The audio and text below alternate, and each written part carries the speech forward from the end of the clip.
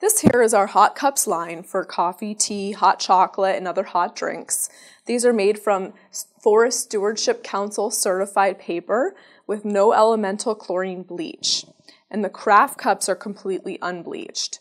We compared a ton of different companies' hot cups and decided that this line here from World Centric is the best quality product on the market. Traditional coffee cups are lined with polyethylene, a plastic that makes them non compostable and tough to recycle. These cups are lined with bioplastic made from corn.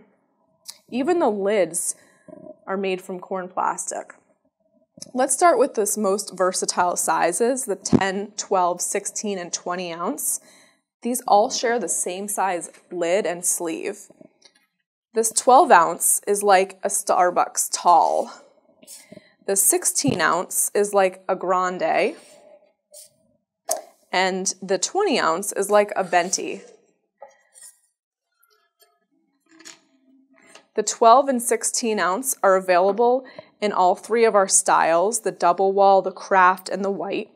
This double wall is made with a pocket of air between the two layers that eliminates the need for a sleeve, but you could put a sleeve on it too and have it be super insulated. The sleeve here is custom printable so you can brand your cup and it's more affordable than branding the cup itself. Moving on, we have this 8 ounce size that's just darling. It has its own little lid and cute little coffee sleeve. It's the perfect size for a kid's hot cocoa or a few shots of espresso. Over here, we've got little sample cups for handing out samples in store. There's no lid or sleeve available for these.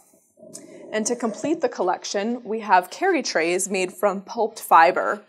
The 10 ounce up to 20 ounce fit these trays perfectly. They're nice and tight, um, where the 8 ounce is a bit loose, but it does fit.